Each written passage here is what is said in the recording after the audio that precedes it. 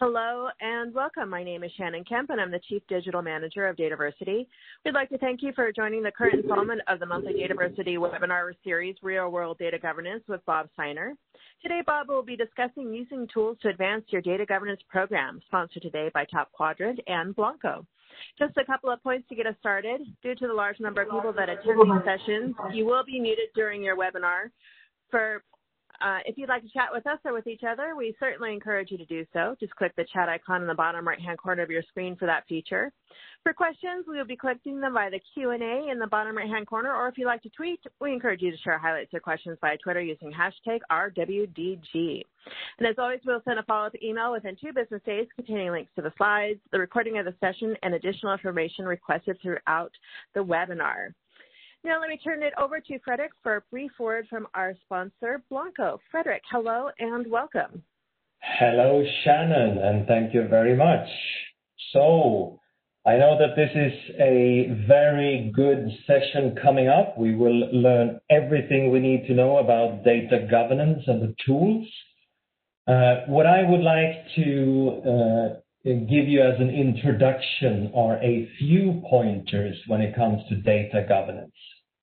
Uh, we focus on a strong finish, i.e., the data end of life, when you need to dispose data securely. And I want to share a few insights uh, during uh, these specific times, and hopefully those can be inspiring. So first of all, when we have a strong finish and we need to dispose of data, we talk about data sanitization. That basically gives you two options. One, let's destroy the hardware containing the data. Two, my personal favorite, let's use software to make sure that we can remove the data and continue seeing value and usage of the hardware. And what you need to know in um, uh, today's data sanitization industry is that you can get the same high level of security, the highest level, the purge level of security, uh, using software. So Think about sustainability. Think about never destroying any kind of IT assets only to protect the data. There's no need to do that today. Another thing that I would like to share with you is uh, uh, how is this industry viewed if we look at Gartner, for example. And what I want to show you with this very busy slide is how we, during the last five years, have moved from the left side to the right side, where Gartner today is saying that robust data sanitization is a core C-level requirement for all IT organizations. Why are they saying that? Basically, you have a whole puzzle uh, to put in place uh, to protect your data. One of those things that you need to be able to master when you're doing data governance, data management, is when data is beyond retention, for example, what to do. And having a software uh, solution in place where you can target data wherever it sits is definitely a core requirement today. Um, finally, I would like to uh, share with you if you feel a need to destroy you actually need to be able to um, uh, achieve what we see on these pictures. An HDD needs to be 6 millimeters in size for someone not being able to withdraw data from uh, uh, what's left. An SSD drive needs to be 2 to 3 millimeter size. So when to use this is definitely when you have broken equipment that doesn't respond anymore to hardware to um, hardware commands or software um, read and writes. But when you destroy, don't fall for the drill or the sledgehammer. Go uh, for what is mandated according to uh, uh, different guidance that's given in the market. And then finally, we are all sitting in home offices. It used to be a place where we could just take up our laptop and be mobile around uh, our uh, work. Today, we're sitting in very well-equipped office environments. We're processing data. That's a big thing to think about when it comes to data governance. In that home office, think about data sanitization proactively. Think about how you can remotely deploy uh, erasure of entire systems or selected files and folders. So you always minimize that risk um, uh, that you carry uh, managing your data. So with that said, think about a strong finish, data end of life. Make sure that no equipment leaves your site with any data on it. That would be me. Thank you very much. Fredrik, thank you so much. And if you have any questions for Fredrik or from him or uh, on Blancco, he will be joining us in the Q&A portion of the webinar at the end. So feel free to submit those questions in the bottom right-hand corner. And now let me turn it over to Jesse for a brief word from our sponsor, Top Quadrant. Jesse, hello and welcome. Thanks, Shannon, and a big thanks to everyone else for joining us today. I'm here to talk to you about a support environment for data governance built on the foundation of knowledge graph technology. Top Quadrant has been committed to and using knowledge graph technology since its beginning in 2001. We offer knowledge graph technology for data governance to provide you with a more expansive and connected view of the most important things in your enterprise. TopBraid Edge Enterprise Data Governance is an agile data governance solution for today's dynamic enterprises. Simply looking at a sample homepage here, you'll see many of your needs, such as the tasking. Actually, sorry, it's um, it zoomed in. Sorry there. Um, hopefully, the slides are back to normal here. Um, I was trying to point out that many of your needs are right here on the homepage, which would include tasking a specific set of stewards or roles through controlled workflows of all types of different information across many different asset collection types. One important thing here that I would like to point out is that we've designed TopBraid Edge to Um, uh, one second here. My slides aren't working, Shannon. Sorry. Um, they flickered. No worries. Are you seeing the slides? Yeah, they look good. All righty. All right. Thank you. So what I was wanting to say is that TopBraid Edge is designed knowing that um, ramping up a new data governance program can be difficult, and different organizations may have differing priorities and starting points. With Edge, you can start incrementally and by licensing and using modular components and capabilities to support your comprehensive yet staged approach to data governance. With TopBraid Edge, you can catalog and connect all of your assets, curate your data, and collaborate with all data stakeholders. With TopBraid Edge, though, there's over a 100 different type of assets, such as glossary term, database, ETL script, and many others, some instances of which are shown in this illustration. An asset can be any technical, business, or operational resource governed by an organization. The triangle here illustrates Top Quadrant's view of a comprehensive nature of data governance. Executive or top-down data governance concerns would be things like policies, rules, data governance roles, and so on. While the bottom-up or representative data governance encompasses the large and growing number of information asset types and their properties. While applied focuses on the bottom-line business reasons for doing data governance, such as analytics, lineage, regulatory compliance. All of these aspects need to be connectable. What a perfect requirement for knowledge graph technology. All of these aspects must be available. another perfect requirement for an open API-driven knowledge graph solution. Edge was designed to be a rich knowledge graph platform to support data governance. It can represent metadata and data, models that give the information meaning, rules and other semantic layers, and any other necessary aspect of the information or knowledge. This approach is comprehensive, flexible, extendable, and evolvable, and we believe that knowledge graphs are the best way to support integrated data governance.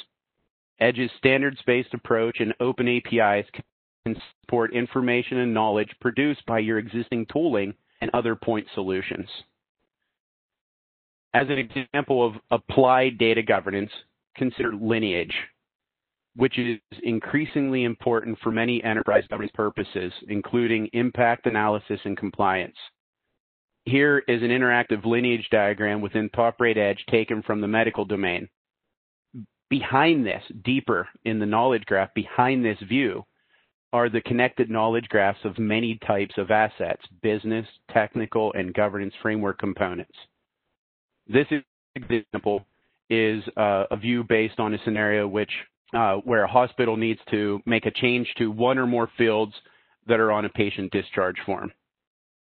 Clicking on a link, you will get deeper information and the ability to really dive into the actual information and knowledge itself there are a number of business and technical assets involved and connected that need to be represented, including the discharge form itself, the terminologies, hospital systems, applications, data sources, data elements, and more.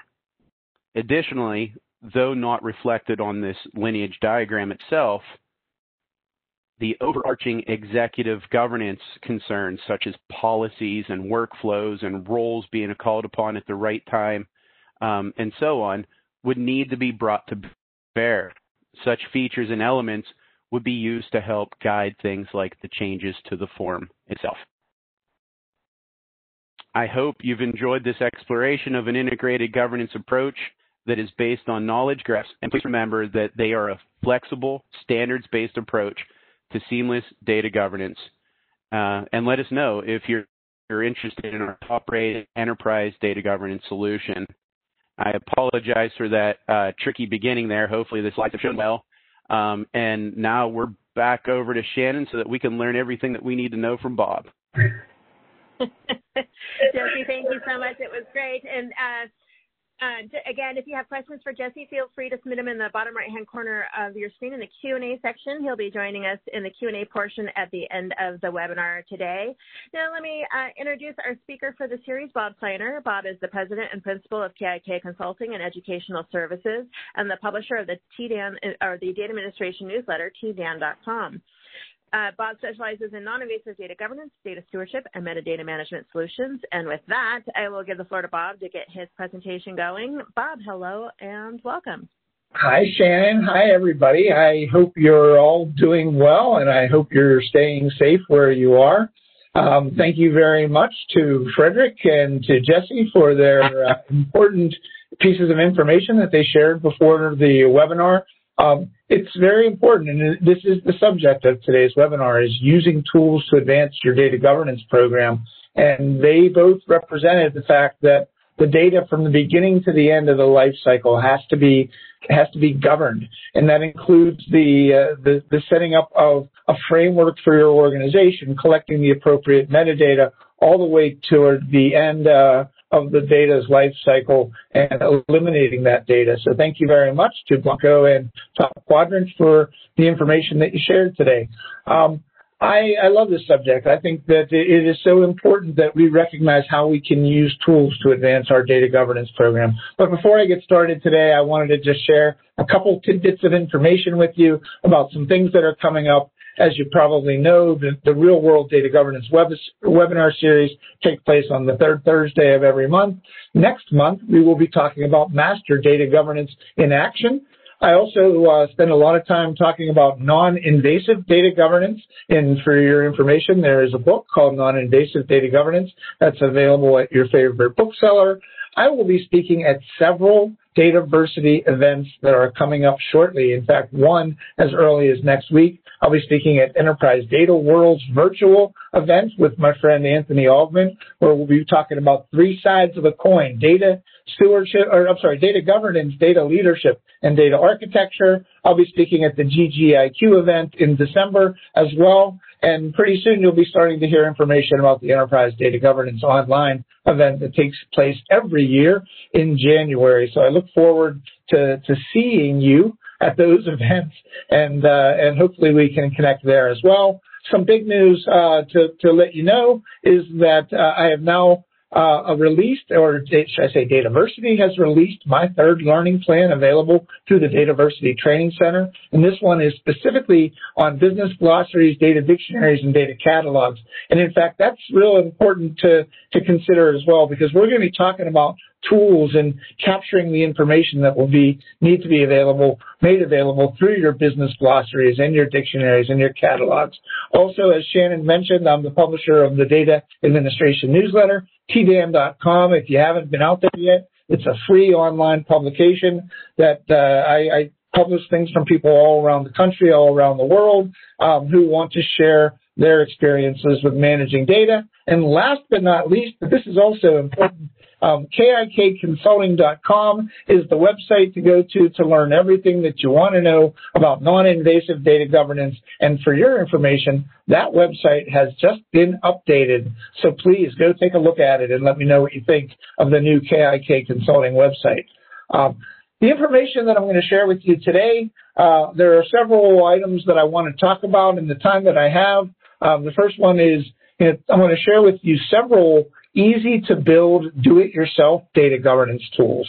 And so there are tools that are available on the market and there's also tools that you can build yourself. And we're going to talk a little bit about how can we customize these tools to help to address specific issues within your organizations. I'm going to combine those two subjects and kind of go through uh, a couple tools that I have shared. Sometimes I've shared before, but I want to share them with you in this session and talk to you a little bit about how to customize those tools. We'll talk about how developing those internally or how to use internally developed tools, how that can help you to lead to the tool acquisition if at some point you're going to be bringing tools from the outside into your environment, knowing when it's the right time to acquire the tools, and integrating the metadata that's being collected in these do-it-yourself tools with some tools that are acquired on the market. So, but before we get started, uh, I, I, thought there was a couple different ways that we could address this subject today. The first one was to focus on the tools that are already in your environment or the tools that you're going to go about acquiring, and or, or we could focus on tools that you can create yourself and leverage in the industry. And I know from past experience that a lot of organizations really like to attend the webinars to take away tools and templates. And as Shannon mentioned, when she does her follow-up email to this uh, to this webinar, she'll be providing you to, uh, with copies of the tools and the things that I'm talking about today during the session. So there are software tools like data governance and catalog and repository and quality and data elimination tools as Blancco talked about and knowledge graph tools. But then there's also some do-it-yourself tools and those tools take different formats.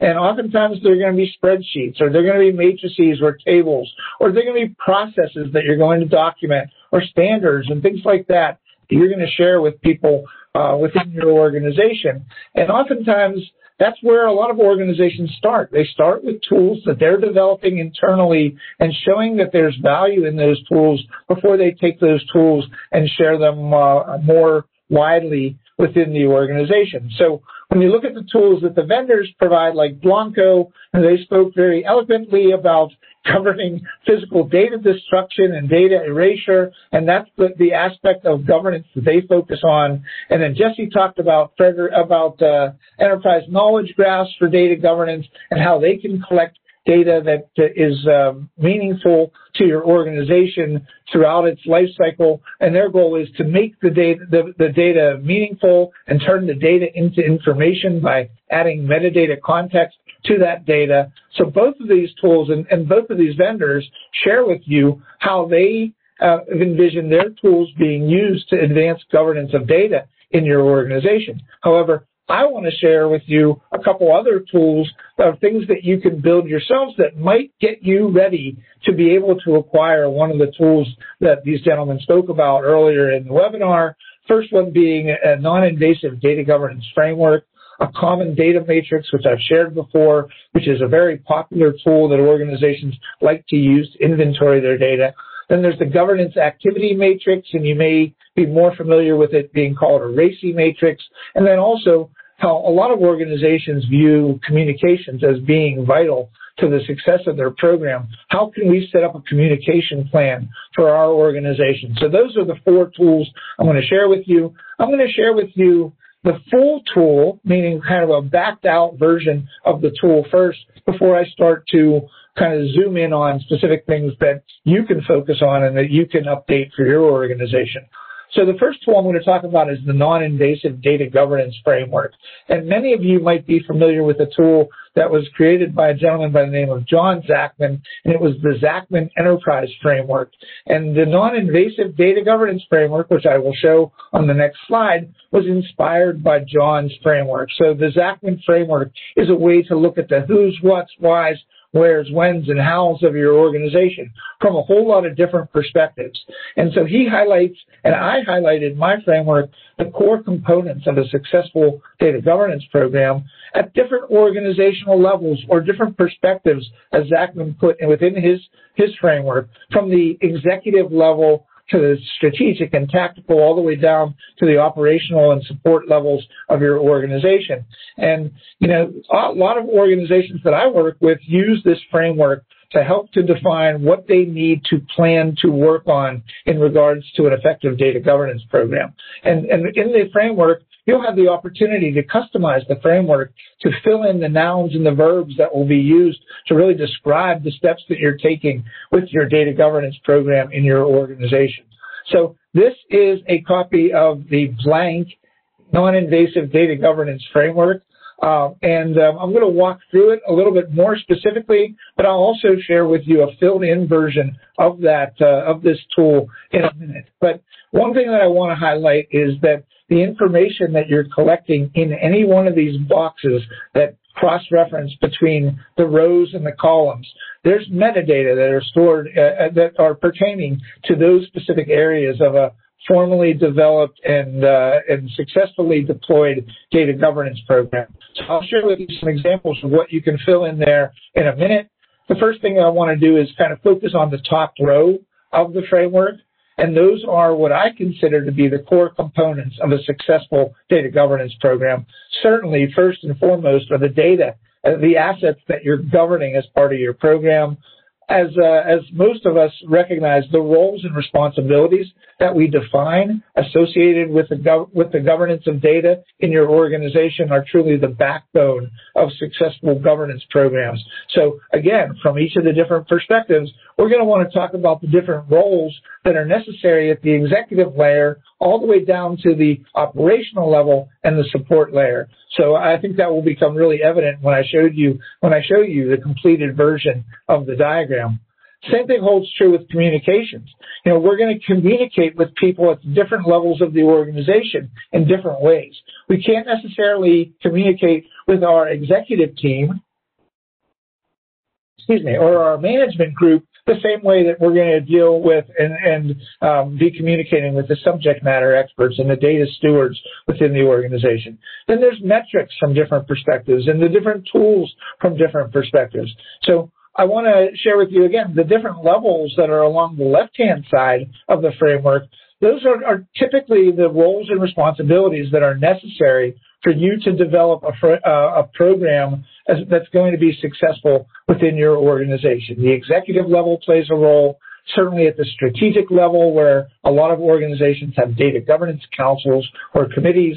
You know, that's an important role. They play an important piece, uh, an important role in the success of your program. The subject matter experts or the domain stewards, people that have knowledge and authority associated with specific subject areas of data are important. The operational, the people day to day that have jobs as data stewards, they are the ones that define and produce and use data as part of their job.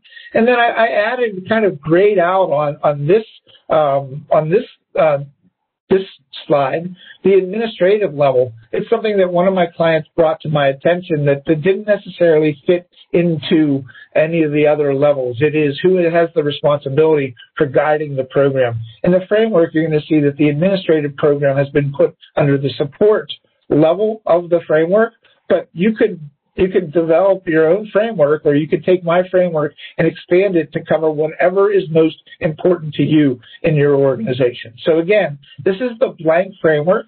And as you see, it has all those core components across the top. It has all of those different levels down the left-hand side. And what I wanted to do was share with you a version of that framework that is filled in. And these are, as I mentioned in an earlier slide, these are the uh, pieces of information or the verbs, verbiage or the, the statements that you will use, terminology you will use to help people to understand what is necessary to put a successful governance program into place. So let's just look at the roles column for a second and see exactly what I mentioned earlier. At the roles in the roles column as a, as a core component at the executive level, you may have a steering committee at the strategic level, you may have a data governance council. At the tactical level, domain stewards or data owners, as it's called in a lot of organizations, or certainly the subject matters uh, experts of data in your organization. At the operational level, the specific operational data stewards, the people that define and produce and use data as part of their job. And then there's the support function, the support level as well. What do you need as supporting functions or what parts of the organization are already governing data that we can take advantage of within our organization? And the development of work groups to focus on specific issues and problems and uh, opportunities to improve the value of data within the organization. I could talk to this diagram all day. I don't have all day to be able to speak to it, but you can see even under metrics and under tools how they change as it goes from executive to strategic and tactical, operational, and support levels of your organization. So this is a very valuable tool just for even getting started with your governance program and recognizing what information you can collect about your information about your organization that will help you to be more successful in the governance uh, in the formalizing of your governance program within the organization. So what do people use frameworks to do? They use them to communicate uh, effective program management. They use it to highlight that key terminology that I mentioned that really describes the approach that you're taking to address each of those components by each of the levels or perspectives that we have in the organization to outline the metadata that's needed to be included in the tools that you're going to use, like a Blancco, like a top quadrant. You know, what it outlines what metadata specifically needs to be captured in your organization, and it simplifies the whole concept of data governance. Yes, the framework looks large. It looks like it has a lot of different pieces to it, but the fact is that we know that those core components are going to be required in order to be successful in your organization. So one thing about this slide here, if I just highlight those first letters, you know, it basically describes what we're trying to do by using a tool like the data governance framework. It basically applies order to what might feel like it's going to be chaotic or adds or to apply order to chaos within your organization. The data governance framework is a very valuable tool that you can build, that you can develop, that you can use to communicate effectively across your organization. All right, we're going to go on to the second tool. And the second tool, uh, you know, I have to be honest with you that some people that have read through the non-invasive data governance book or have attended these webinars or other Dataversity presentations that I've done, this is the most requested tool. And this tool continues to evolve in my thinking and it's being used in many different ways in many different organizations. Common data matrix doesn't really describe what it does. It's really more of an inventory and accountability matrix. And you'll see what I mean in a minute when I share with you some different versions of that tool. But really what we're trying to do is we're trying to cross-reference the domains or the subject matter experts all the way down to the critical data elements for your organization and recognize who in the organization is defining and producing and using that data across the organization. Now, oftentimes the information that we collect within the tool, it aligns with the use of glossaries and dictionaries. And I guess uh, I, uh, I meant to put data catalogs there instead of the second use of the word glossary, but it really aligns well with a lot of the information that we're going to collect and we're going to store within our business glossary, within our data dictionary, and certainly within our data catalog. So organizations use the common data matrix to demonstrate need for other tools.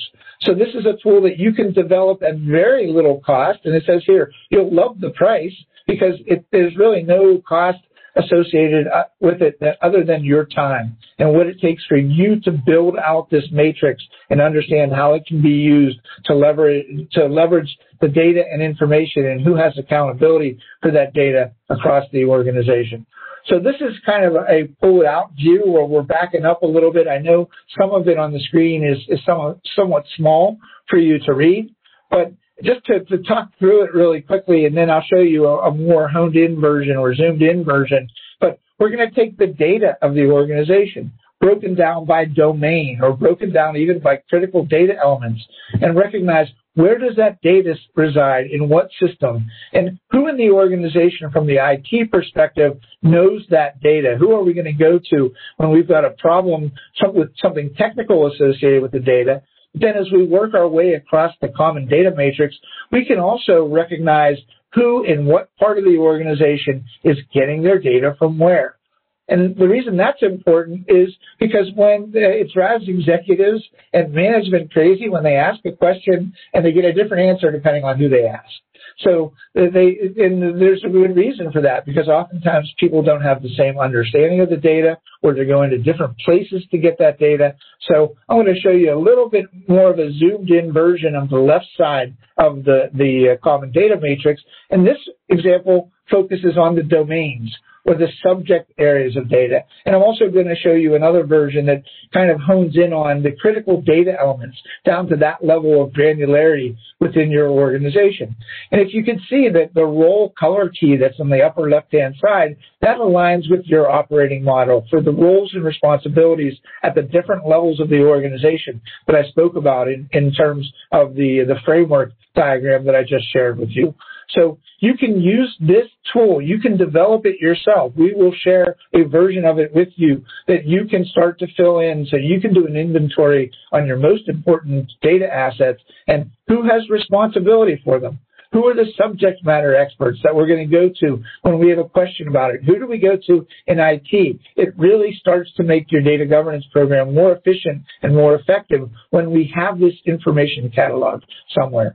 So here's another backed out version of, of even a more recent common data matrix where the focus is really on critical data elements, the CDEs that I mentioned on the slide, where again, you've got the role key that identifies, well, what people, when we fill names in to some of the colored squares, you know, that this is the person that we're going to go to when we want information about customer name, the subdomain within the domain of customer, and all the way down to the business term or the critical data element within the organization, such as customer contact name might be the business term that you use in your glossary, who's the person that's a subject matter expert associated with that piece of data? What is the critical data element called? And you can uh, you can feel free to customize this tool excuse me, to uh, to make certain that you are collecting the appropriate information. Like for example, if you're moving several packages into uh, into another package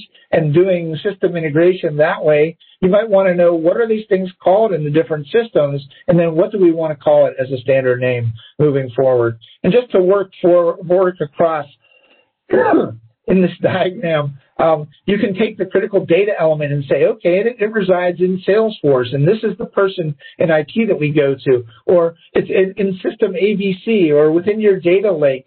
You know, where are people getting their data from? The common data matrix is honestly a very appropriate tool for you to use in your environment to start to catalog who does what with the data across the organization.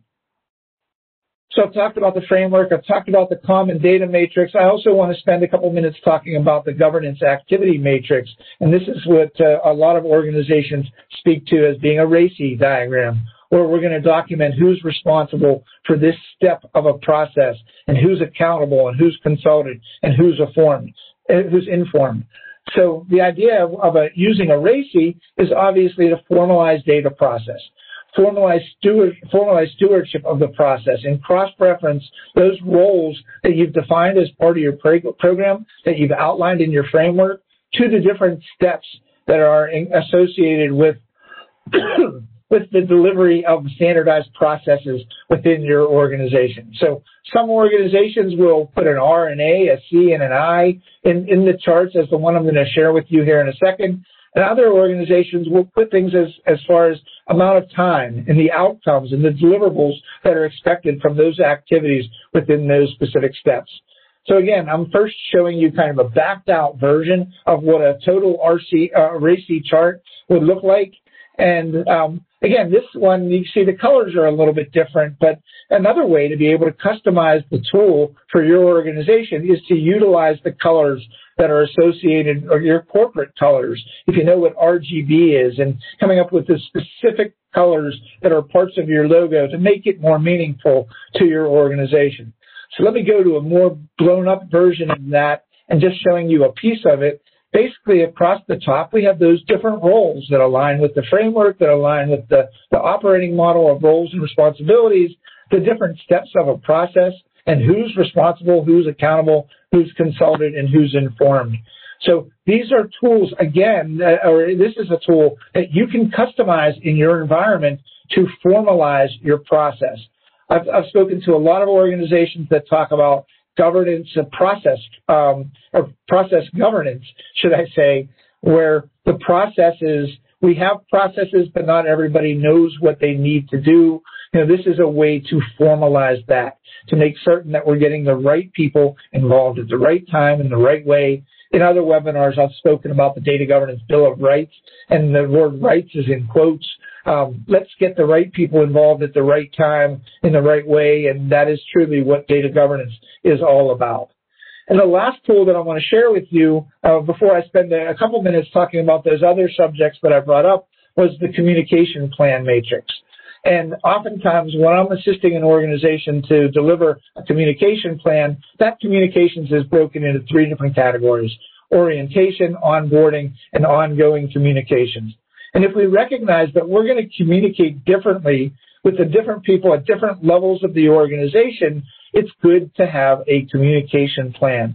If you have corporate communications people that can work with you, you certainly want to get engage them to make certain that the, the messaging is appropriate. But things that you can include within the communication plan are things like the messaging, the cadence. How often are these meetings taking place? How are we delivering the, this information to people? And who is responsible for developing the materials?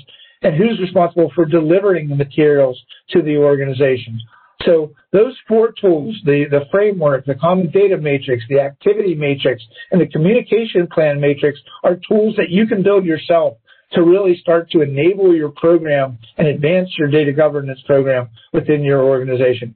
Here's a copy of a, of a communication plan matrix, again, backed out a little bit just to give you an idea as to what the whole thing looks like, but we can uh, hone in a little bit on, on parts of it. And you can see I have the orientation and onboarding communications listed as being part of the, uh, the development of communications in your program. And then there's different types of communication that are associated with orientation and onboarding and ongoing communications. And again, consider adding to this diagram or to this chart you know, what's the cadence of the meeting? How often are we going to meet? What are we going to talk about? What uh, what tools are we going to use to deliver the messages that we need to deliver? Um, so those are the four tools, and I find them to be the ones that are most requested and used most often within organizations. So I want to spend a little bit of time here before we turn it back to Shannon for some Q&A um, to talk about how these internally developed tools can help you and help to lead you to acquiring the appropriate tools for your organization. So there's some potential issues around that, and I just want you to keep in mind that some of the information that I shared with you in those tools that I shared may or may not be um, part of the functionality of some tools that are on the market. And if they are important to you, then certainly go after tools that have those types of, capabilities within your organization. So one of the, the, potential issues are it depends on what the tool, the internally developed tool, the do-it-yourself tool does, and it depends on what the tools on the market do. And obviously, it, it, most organizations, it has to do with the budget that is set for acquiring tools. That's often why organizations start with do-it-yourself tools, is that they don't have a budget that's set, or it takes time to get budget. It also takes resources to implement and and uh, deliver those tools, but it also takes time and resources to utilize these internally developed tools as well. So if you're looking to acquire a data catalog, um, they're not inexpensive. Um, they're not plug and play. You can't plug it in and have it govern the data of your organization for you. Yes, automation can be very important in the success of your program, but it takes resources and it takes time in order to implement these tools and get people across the organization to use them effectively. Oftentimes, you know, you'll be able to tell by using do-it-yourself and internally developed tools to see how good is the information that we're collecting in those tools. Sometimes there's a lack of governance or a lack of quality in the information or in the metadata that you're storing within the tools. Sometimes we don't necessarily have the appropriate stewardship. Who's defining what information we're collecting? Who's producing that information? Who's uh, who's using that? Who do we expect the users of that information to be? And oftentimes there's a lack of acceptance of tools that you develop yourself. So if they're demonstrating value in parts of your organization, share that across your organization so that people know what value is coming from these tools that you're developing internally and see if they'll uh, kind of gravitate towards using those tools. So usage and acceptance, oftentimes with do-it-yourself tools, we need to spend time to focus on that and making certain that these tools are being used and that they're being accepted across the organization. And we have to demonstrate the value of these tools. And oftentimes that will help us to get prepared for bringing a, a tool that we're acquiring from the outside into our organization. So what are the things that we can put in place uh, while we're utilizing do-it-yourself tools? Well, having requirements for what we're going to use the tool for, having the resources identified that are going to be responsible for maintaining that tool. How are we going to go about collecting the information within these tools? And what are the processes that we're going to follow to make these tools successful within our organization? Know, formalizing the stewardship and who has formal accountability for the metadata that goes into these tools. I'm often known to say that the data won't govern itself, but the fact is the metadata is not going to govern itself either. You know, any of these tools that you're going to use in your environment, whether it's do it yourself or it's tools that you're bringing in from the outside, it requires that people have time and people behave appropriately by making certain the right information is being collected in the right way so people can use it appropriately. Some other things to think about are standards and consistent ways of collecting the metadata. I'm, I'm, working with a client now that is moving multiple systems into a single system, and I, have stressed to them the importance of being consistent in the way we're collecting the metadata, even in the spreadsheets, uh, in the data dictionaries that we have within our organization. So having standard and consistent ways of collecting the metadata, being able to recognize how we're going to map that metadata to the metadata in the acquired tools, assuming that there's a, a, chance for us to be able to leverage and value the information that we have as we move it into acquired products. You know, knowledge of how the tools that we're bringing in and the tools that we're developing represent that metadata. Are we going to provide it to people through the tool itself or through reports or through dashboards that are being provided? Are we going to uh, do we understand how this information is going to be used and how we're going to measure the success of these things? And change management is critical in the use of any tool, whether it's a do-it-yourself tool or a tool you acquire, because you know once you've entered information into that tool, it's a snapshot of a point in time, and you want to make certain that you have the ability to be able to keep that information up to date so people understand that the data can be the metadata within these tools can be trusted. So let me spend a minute here talking about what, uh, how do you know when it's time to acquire a tool? Um, well, it's time to consider acquiring a tool when the tools that you're developing yourself don't have the functionality that the other tools in the marketplace have. And some of these tools, like the Common Data Matrix, it's great for inventory and accountability, but there are other tools in the marketplace, lots of other tools that will help you to, to collect that information and represent that information. So if the do-it-yourself tools don't have the functionality you need, it's going to be time to, to start considering acquiring new tools and bringing them into your environment. And the same thing holds true with these tools being accessible you know, by the relevant stewards within your organization. A spreadsheet is not the best way to share data. Um, organizations do do that, but the the fact is that you know you may outgrow your ability to be able to address all the people in the organization that can use these tools or these tools don't have the capacity to hold all the metadata that you need, or interoperability becomes an issue where these tools don't communicate and talk with other tools. And that's certainly something to consider. And I'll talk about that more in a second. Uh, you know, how these tools interact with other tools in your environment, in your uh, in, in your infrastructure that you have within your organization. You'll know it's time to acquire a tool when the maintenance costs of the do-it-yourself tools become greater than the acquisition cost and the maintenance cost, maintenance cost of the tools you're bringing into your environment. That you've got people in your organization that are calling out for the need of a formal tool set.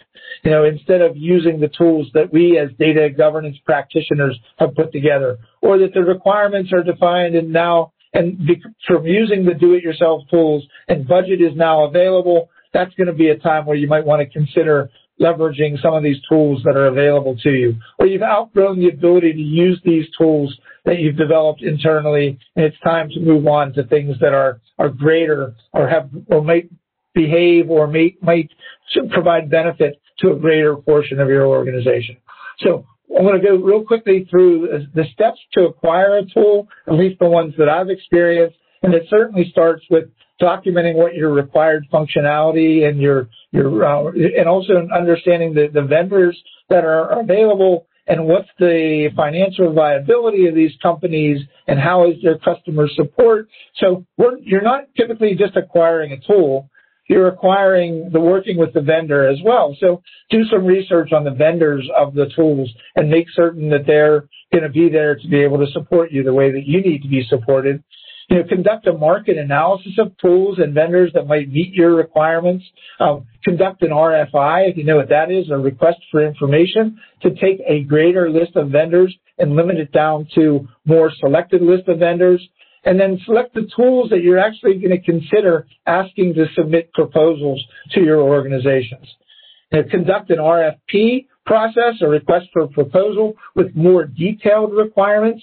Typically the RFI doesn't detail the requirements as much as an RFP does, but then you, you send those out to the vendors that you're considering, you evaluate their proposals, you select a vendor, oftentimes conduct a proof of concept to demonstrate that the tool will do what they said it would do and that it will work effectively within your, your environment. And last is contract with the tool, uh, contract with the vendor of choice the tool that's going to make most sense to, to work in your environment.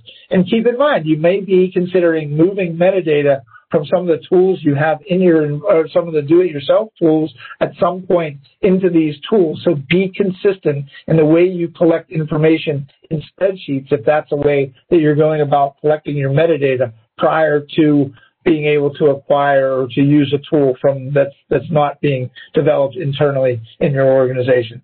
So let's talk for a second about integrating the do-it-yourself tools with acquired tools. We'll talk about integrating any tool with the do it with the acquired tools as well. Just consider these things: that, that the, the the effort that's going to be required and the resources that are required to get these tools up and running in your environment, the ability to pull metadata out of the do-it-yourself tools or out of other tools in your environment and to extract them so that they can be loaded into these into the do-it-yourself tools or loaded into the tools that you acquire.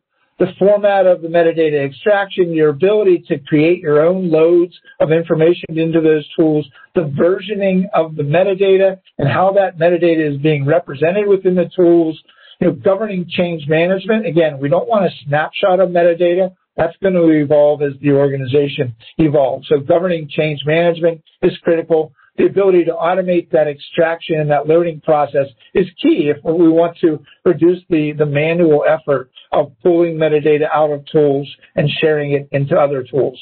And you'll notice that this slide is very similar to the last tool or last slide because I'm really talking about any tools here.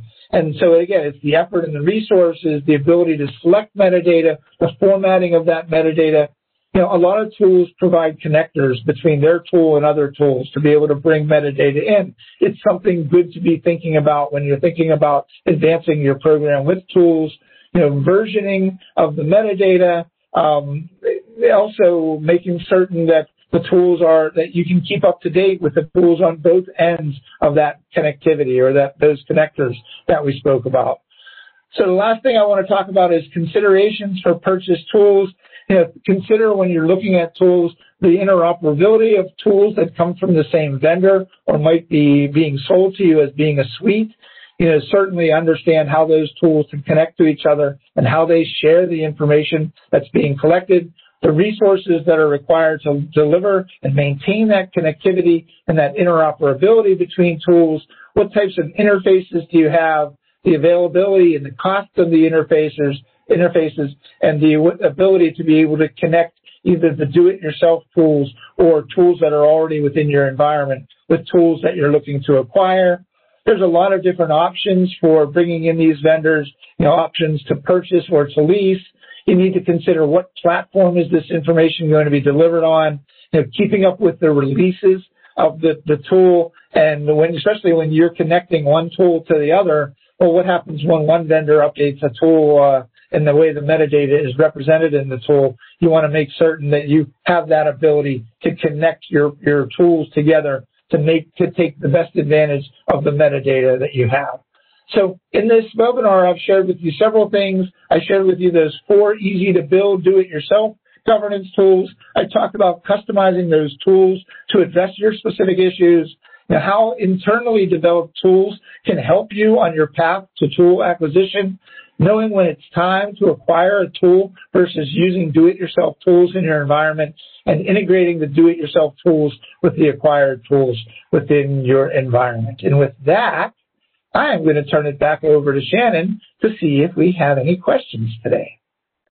Uh, thank you so much for this great presentation. And just to answer the most commonly asked questions, just a reminder, I will send a follow-up email to all registrants by end of day Monday for this presentation with links to the slides, the recording, the matrices Bob showed off here. We'll get those out to you as well and anything else requested throughout. So, and if you have questions for Bob or Frederick or Jesse, feel free to submit them in the bottom right-hand corner of your screen there.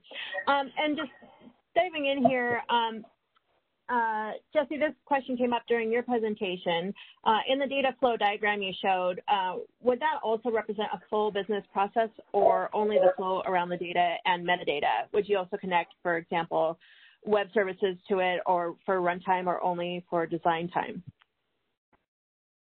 Um, all of the above, uh, everything from the technical asset modeling to the enterprise asset modeling. The technical would be things like the web services, the enterprise level would be for things like the business process and connecting that down, you know, to maybe possibly like dependencies on the technical application or services.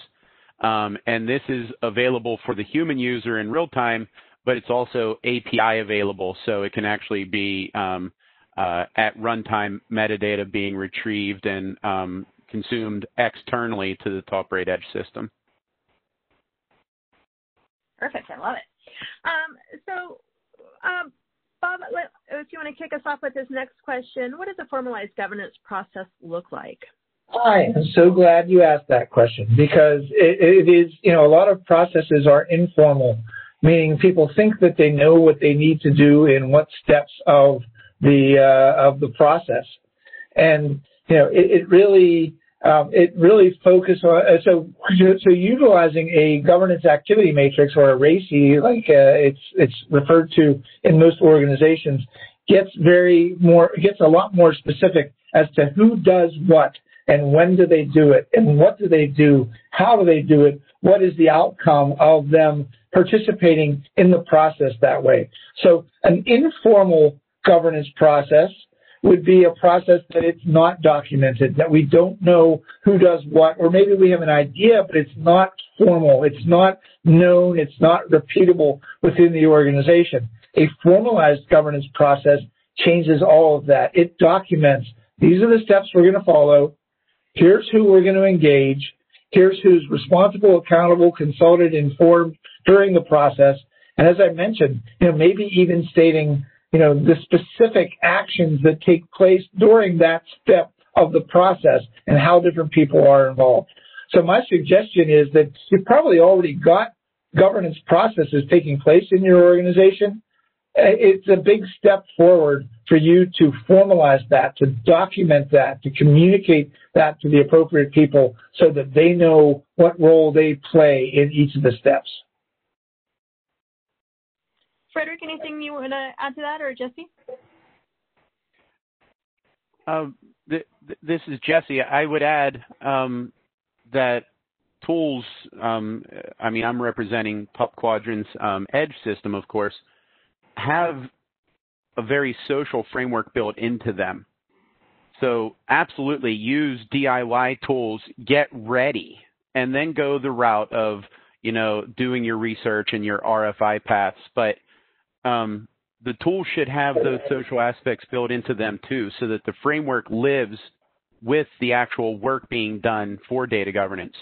So when you're assigning stewardship and linking to documents and policies and procedures, that should all be interconnected through the entire life cycle. It's not something that you can do up front and then leave behind.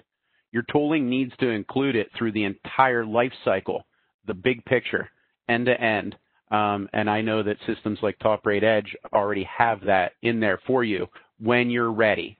So that, that would be my, my addition.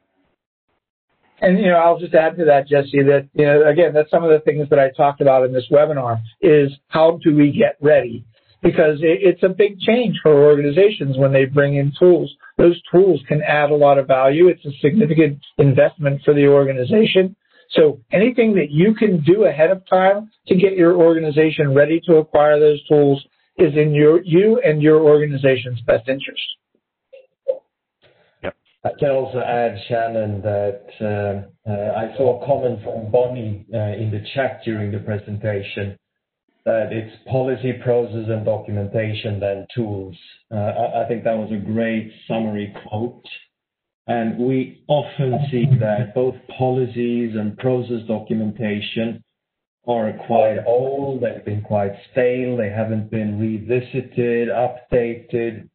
So sometimes you even have a starting point uh, that you have to revisit uh, very quickly afterwards once you start with implementation. So really do your homework before you start getting into the tooling part. Perfect. I love it. So, um, in, and I'll open this up to all you guys. Um, uh, in the in your experience, how have organizations dealt with functional um, mandate-based ownership versus system-based ownership? I see that function um, mandating enduring uh, a system responsible for uh, for technical and business responsible for lifecycle management of the data. I don't know if I read that well, but so let me know if you need me to repeat that. I'll be glad to let them answer it first, and uh, as typical, I, I have an answer as well.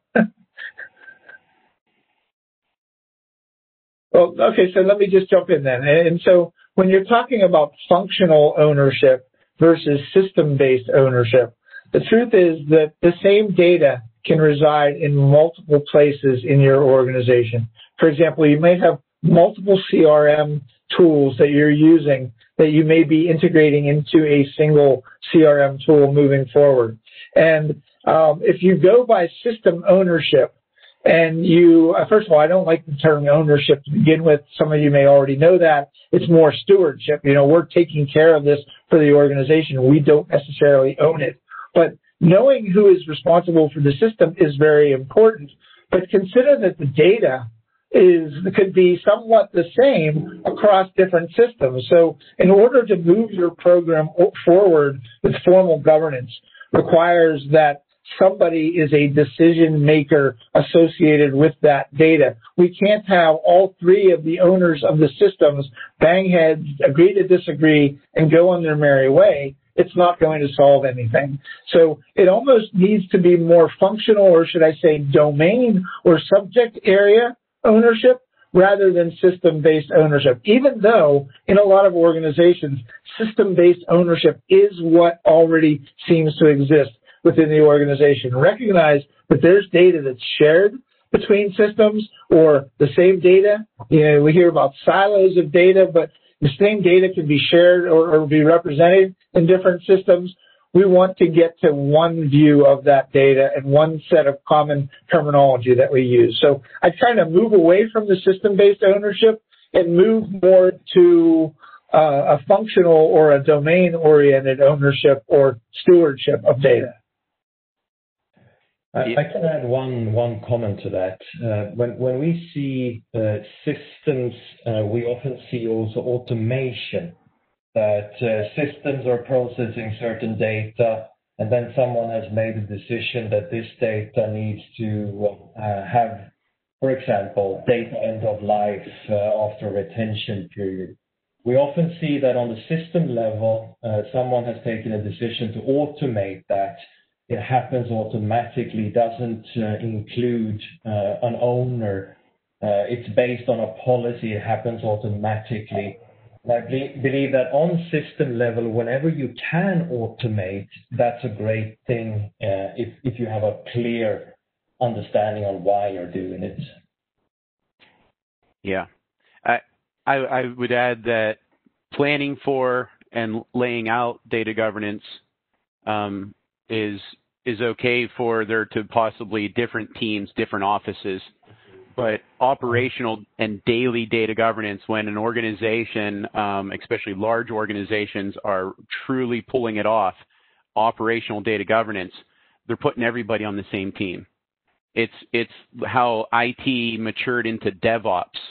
You see data governance really maturing into data governance ops, and they work together and it doesn't matter. You know, nobody really cares about the ownership anymore. Um, it's not mine; it's ours, and that comes with daily data governance instead of just planning it. I agree with that well, statement for sure. Well, thank you all for this uh, great presentation. I'm afraid that is all the time we have for today, and thanks to Blancco and TopQuadrant for sponsoring today's webinar and helping me make these webinars happen. And thanks all of our attendees for being so engaged in everything we do. Uh, again, just a reminder, I will send a follow-up email to everybody by end of day Monday with links to the slides and the recording and the matrices, uh, as well as contact information for everybody. So I hope you all have a great day. Thank you, and stay safe out there. Thanks all. Thank you so much, Shannon. Thank you. Thanks, guys. Thanks, thanks everybody. Bye.